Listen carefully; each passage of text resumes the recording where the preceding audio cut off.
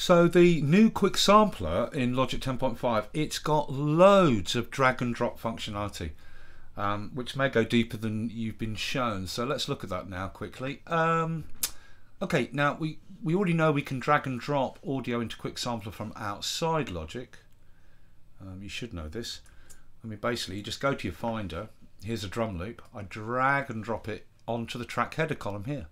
Now, as long as there's at least one track in the track column above, I can drop it into Quick Sampler. We, we nearly always use original, so drop it into Quick Sampler original, boom. And it loads that drum loop into Quick Sampler. Creates a Quick Sampler on the track and loads in the sample, right? And because it's a drum loop, it initially puts it in slice, but I go to Classic, activate Flex, and follow tempo. And now uh, I can play this loop back uh, in any pitch I like, and it will always stay in time with the project tempo. Uh, slow the tempo down.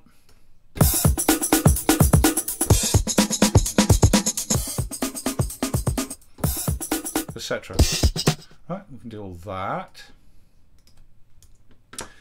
We can drag in any type of uh, loop, not just drum loops. Let's drag in a non-drum loop. This is a grime type backing synth loop. Drag it in, Drop into Quick Sampler Original. Boom. There it is. Now I said this is a perfectly trimmed backing type melodic loop. Um, it gets put into Quick Sampler on its original pitch, which is C3 in the case of this loop.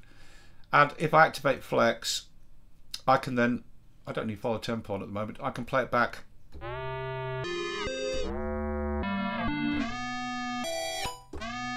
At any pitch, it will always play back at the same speed. But if I want it to, because this is a perfectly trimmed loop, if I want it to loop around in time with the project tempo, right, let me just check, I've got C3 there, C3, there we go. Um, I activate follow tempo, and then for non-drum loops, you have to do an extra step.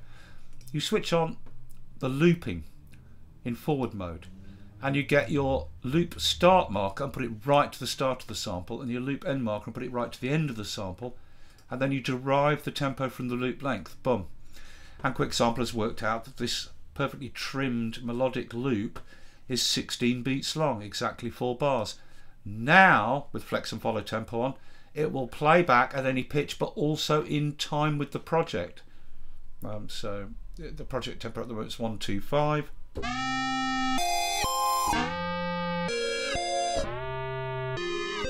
if I speed the project tempo right up, it speeds up, faster still. So that'll always play in time now. That's how you loop non-drum loops, right? Put the tempo back, something sensible. So look, yeah, you know, we can drag and drop any audio from outside Logic, from our Finder. Any types of loops, one-shot samples, anything we want, right? But we can drag and drop internally inside Logic, right? So we can drag and drop Apple loops. Here's a loop. It's a drum loop from the loop library. Drag it in, quick sampler original, boom. And there it is. There's my loop. Now, it's a drum loop, so initially puts it in slicing, but I switch to classic, flex on, follow tempo on as well, and I can play this back now. It's root key or any other pitch and it will always stay in time with the project.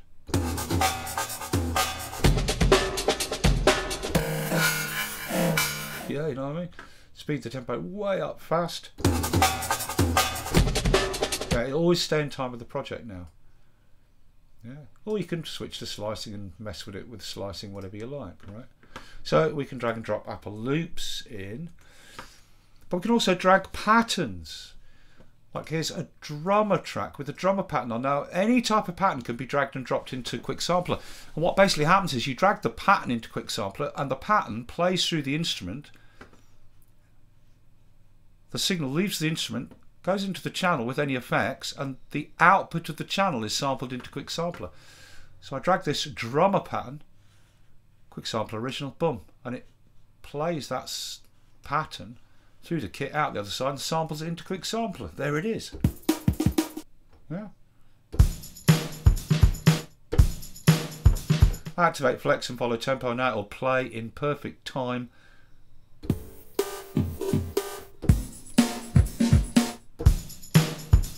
At any pitch. Right? Or you can switch to slice and slice it and do stuff like that. Right? So any type of pattern this works with. Here's a regular MIDI pattern. This could be triggering a pitched instrument. It happens to be triggering some drums. I drag that MIDI pattern into Quick Sampler Original. Boom, there it is. It plays the pattern through the instrument, samples the output of the channel.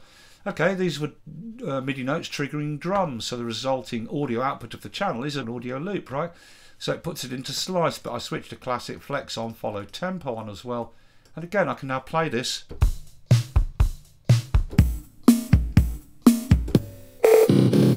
At any pitch and it will stay in time with the project. Let's put a really fast tempo. They're always in time. Fantastic stuff, man. Absolutely incredible. Uh, same with um, step sequencer patterns. Here's a step sequencer pattern playing the deep uh, bass house kit. Drag the pattern, quick sample original, and again it's playing the pattern through the drums and sampling the output of the channel. So remember, any effects on the channel will get included in the resulting audio. Again, the resulting output is, is a drum loop. So it puts it into slice, but I can switch to classic, flex on, follow tempo on as well, and bing bang bong.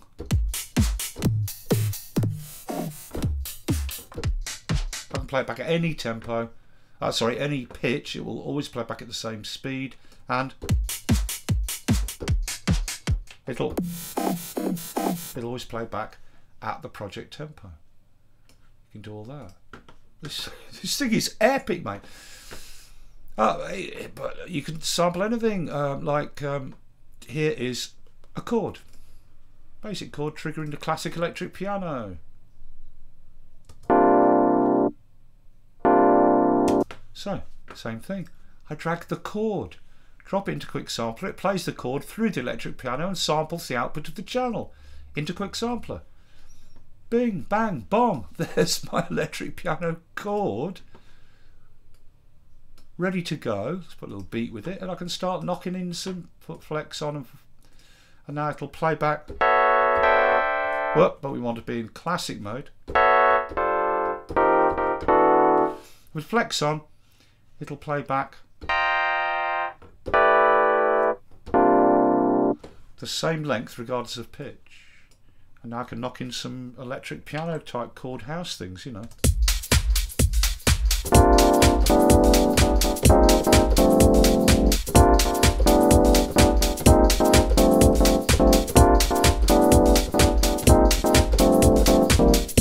Stuff, man. It's just epic. Absolutely epic. Same thing with piano, uh, regular piano, like here's a grand piano with the chord on it. Let's take that beat off for a minute. Come on, get off. Yeah, chord triggering the regular piano. Again, if I want to knock up some piano house, I just make a chord, drag and drop it, quick sample original, boom. It plays the chord through the piano and samples the output of the channel and I get a resulting chord. Make sure you're in classic. I didn't last time check that. Flex on, don't need follow tempo on because it's not a loop. And uh, this will play. Always at the same length no matter where I trigger it. And again, I can knock up some piano house instantly with this. It's just brilliant, man.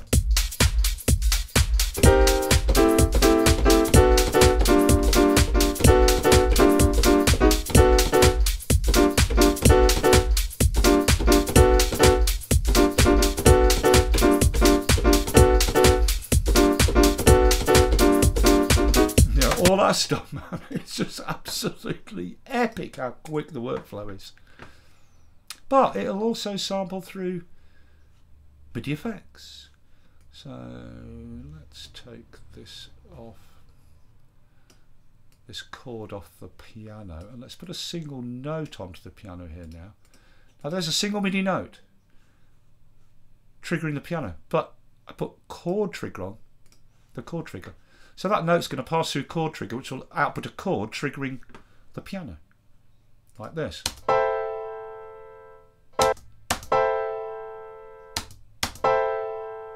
Yeah. Actually, let's have an, an octave. No, I can't go an octave low because that's the key range. So there's a, a nice jazzy chord.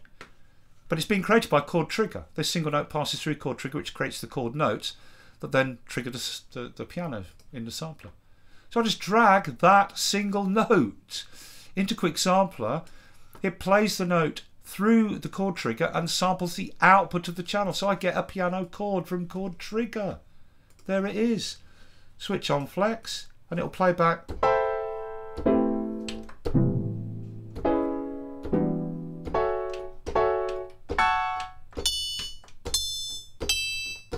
At the same speed, no matter what note on pitch I'm triggering. And again, I can instantly start knocking up some good old piano house with it, you know.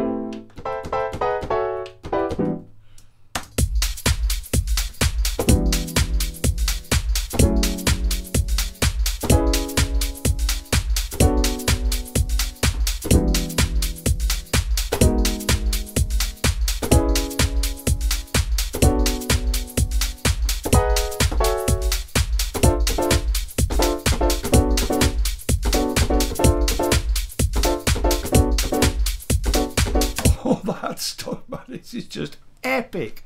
I'm telling you. Uh, but it goes further than that. It'll also work with the arpeggiator. So here is a trance synth being triggered from a single note passing through the arpeggiator. Just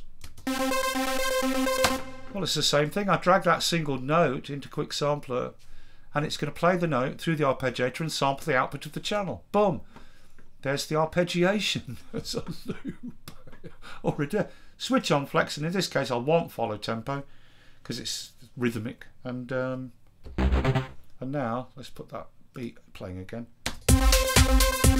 Take out the original and I can trigger this and it will play in time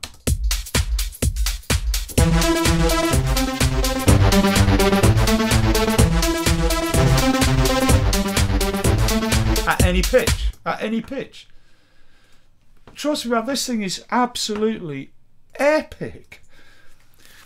Not just because of the massive amount of time this can save you.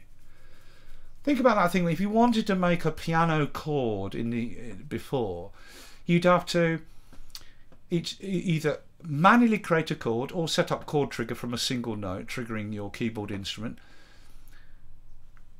and then render off uh, an actual audio uh, region of that chord and then drag and drop and load that in into the uh, the sampler.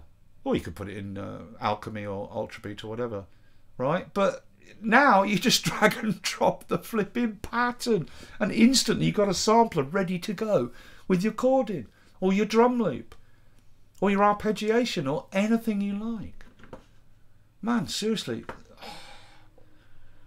this this thing is just fantastic, mate. I'm telling you, absolutely amazing. So there you go.